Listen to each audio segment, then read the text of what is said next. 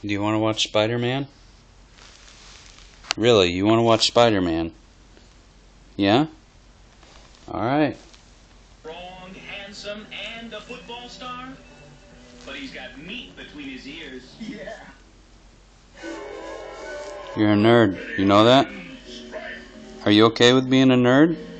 Because you like Spider-Man? At the age of two?